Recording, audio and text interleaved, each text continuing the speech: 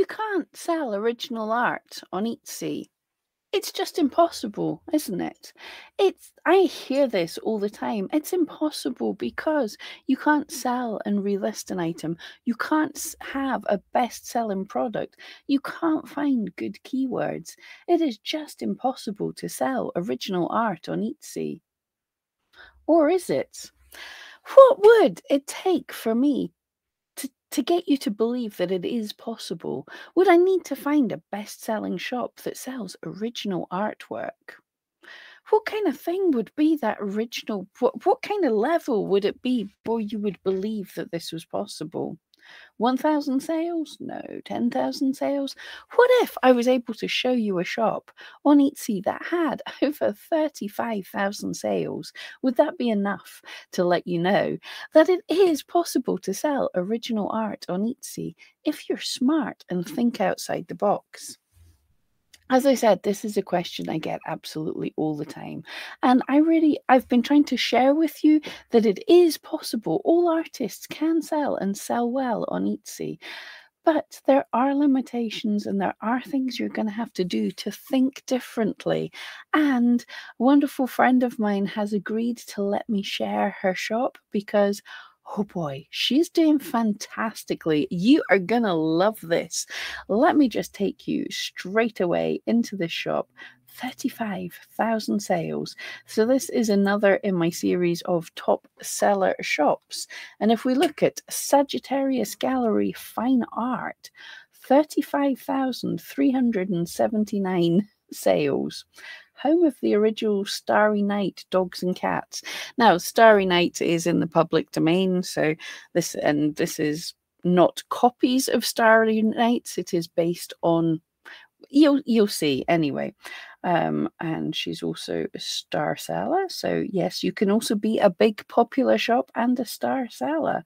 Let's have a look. So four thousand items in her shop fantastic. But let's have a look. First of all, is this an original artist? Original paintings. She has 20 original paintings in her shop.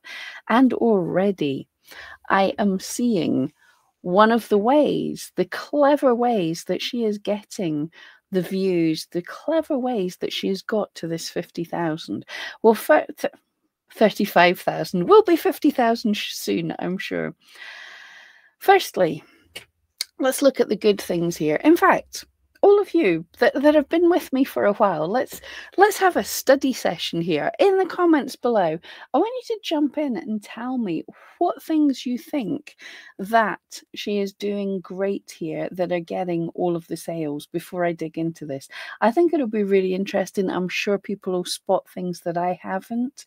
Um, but it's also really interesting to look into you know what everybody else thinks. So but this i i think there is no denying here that this is original one of a kind artworks. I i have watched she's my friend on facebook and i have watched her. I've seen the step by step pictures of her doing these paintings so let's go into what is good about the original art. Why? I mean, obviously, we can see the elephant in the room on the left hand side.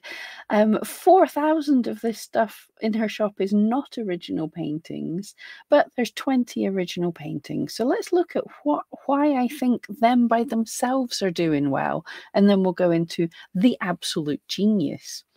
So, firstly, it is a unique style, although it's based on the Starry Nights and everything. It is a unique, bright, colourful, bold style, but mainstream enough that I bet most of us can think of some people that would enjoy this kind of colourfulness on their walls. It's not so out there. It's a statement piece of art. Um, I think it looks great. So there's there's one thing, and it's a unique style that if I see this, I know instantly it is her work. If anyone else is doing something like this, they're copying, and copies never do so well. But thankfully, I haven't seen any. So there's one. It is in a recognizable but unique style. It is bold, but not so out there that it's it it has a wide appeal. Okay, so that's a nice gifted thing. And also, I would say the prices for original work of art, I think that's a good price that plenty of people are happy to pay. Point two, there you go. So, and point three, very clever one as well. There's a lot, can be hitting a lot of keywords here. Now, I know everything here says Starry Night. That's an important thing if people are searching for a style of that. And I'm sure that'll probably come up in a Google search as well now. She's so nailed in on that. So maybe not a massive keyword, but these paintings are not called wild feats of fancy or whatever. This is a standard Schnauzer Starry Night photo. Now, dogs and individual breeds of dogs are very popular on Etsy. People know dog lovers and they want to buy for their friends who are dog lovers. They want to buy things for the breed that their friend has got. Not only that, there are people who are super into the breeds that collect everything to do the to do with the breeds. So don't if you're going to create something to do with dogs, this is a mistake I made earlier on don't just say dog, custom dog, or whatever. People search for their specific breeds. So, trying lots of different breeds. We have some popular breeds like a Labrador, but and a Lhasa Apso, they're pretty popular. But also going for some of the less popular, um, some crossbreeds. That is a beautiful picture, actually. Um, Briard, I'm not even sure how you say it, um, but different breeds that might be popular in different places. Um, so, yeah, it hits a lot of people. You know, I don't think I've met a bloodhound in real life.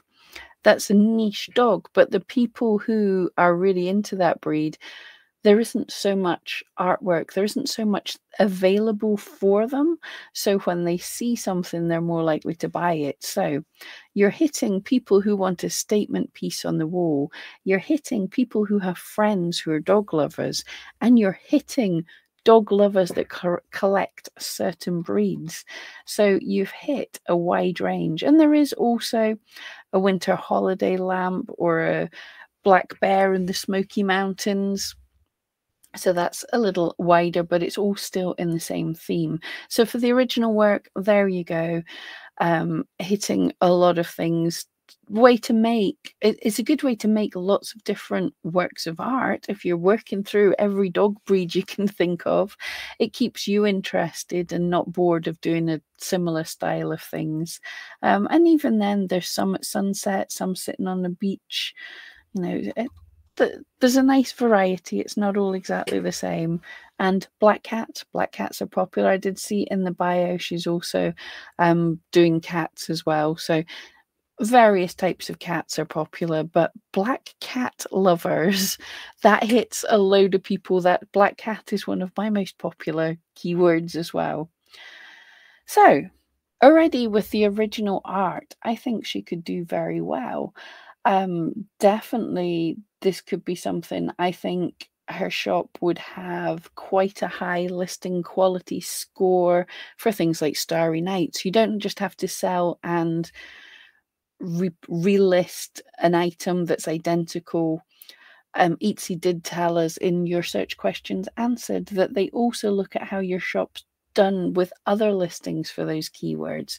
So if you're making lots of sales, then you can do you know really well with other things there is obviously also the chance to go custom. I seen whenever she posts anything, people are always asking, "Can you do my dog or can you do my breed?"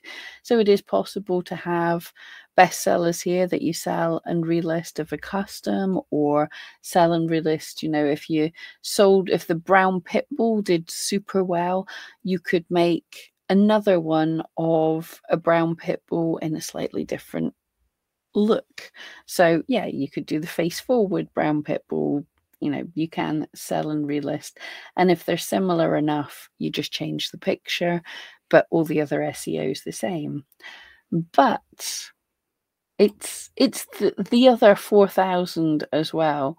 So you've made an original piece of art but there's so much you can do with it and with a good quality scan. So that orca killer whale, beautiful picture was painted once, looks like it was sold possibly years ago, but a good quality scan means that if that's been popular, you can use it on merch.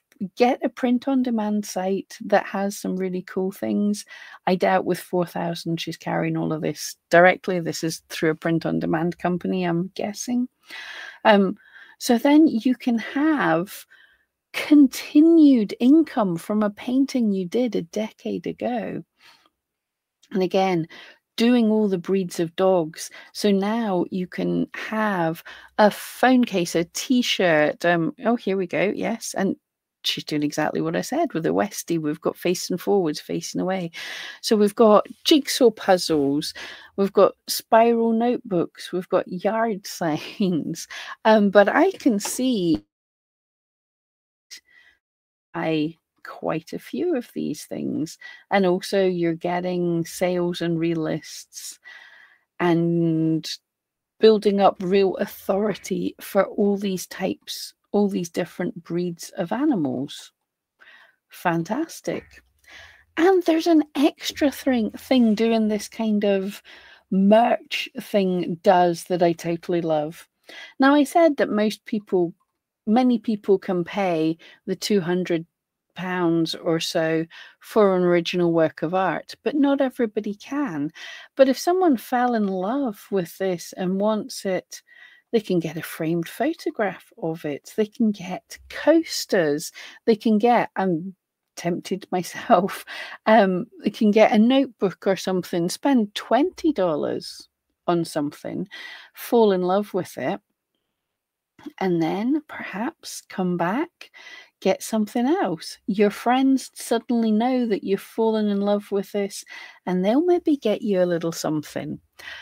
And eventually, one day, you get a good bit of money. You you want to tr- really treat yourself, and what do you do? You go in and you can finally buy that original work of art.